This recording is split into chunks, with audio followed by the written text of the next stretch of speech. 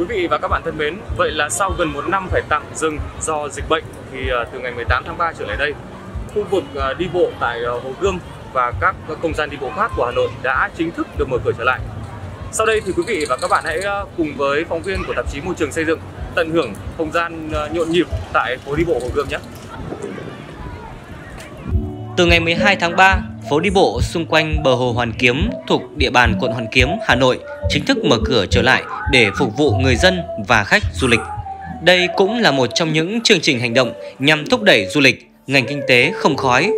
Quyết định mở cửa trở lại phố đi bộ cũng phù hợp với nghị quyết 128 của chính phủ về thích ứng an toàn, linh hoạt nhằm đảm bảo kiểm soát hiệu quả dịch COVID-19 dựa trên cơ sở số người tiêm vaccine mũi 2 trên địa bàn thành phố Hà Nội đạt tỷ lệ sấp xỉ 100% và tỷ lệ người nhiễm COVID-19 đang giảm dần theo từng ngày.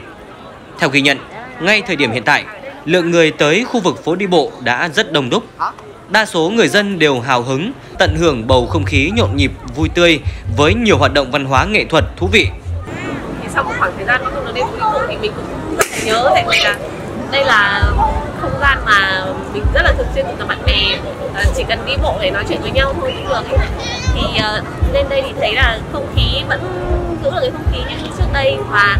uh, rất là nhiều hàng quán các hoạt động như là à, các hoạt động uh, như mọi người đá cầu hay là hát ca thì cũng vẫn uh, được tổ chức rất là nhiều rất rất đông vui đáng nhiệt. Uh, mình cũng mong là tình hình dịch bệnh sẽ được uh, cải thiện uh, nhiều hơn để không chỉ phố đi bộ mà những nhiều những cái khu tụ điểm ăn chơi uh, và uh, khiến cho mọi người giải trí khác thì sẽ được uh, uh, mở cửa nhiều hơn để cho mọi người có thể thoải mái giải trí vào những ngày cuối tuần như này. Người dân và du khách được yêu cầu quét mã QR và thực hiện giãn cách khi tham gia các hoạt động trong không gian phố đi bộ. Bên cạnh đó, lực lượng chức năng trong khu vực cũng thường xuyên tuần tra, đảm bảo trật tự cũng như nhắc nhở mọi người tuân thủ nghiêm chỉnh các quy định về công tác phòng chống dịch, đeo khẩu trang, giữ khoảng cách và thực hiện nghiêm biện pháp 5K theo quy định của Bộ Y tế. Việc tuyến phố đi bộ mở cửa trở lại đang dần giúp người dân cũng như du khách cảm nhận được nhịp sống bình thường trước đây, đồng thời tạo thêm không gian vui chơi thể thao, văn hóa, giải trí mỗi dịp cuối tuần. Quý vị và các bạn, mặc dù ờ, các dịch vụ vui chơi giải trí tại ờ, phố đi bộ của Hà Nội vẫn còn ờ, bị hạn chế, chưa được mở lại hoàn toàn. Và khi mà người dân tham gia tại không gian phố đi bộ thì phải tuân thủ đầy đủ nguyên tắc 5K và rất nhiều những hạn chế khác. Tuy nhiên thì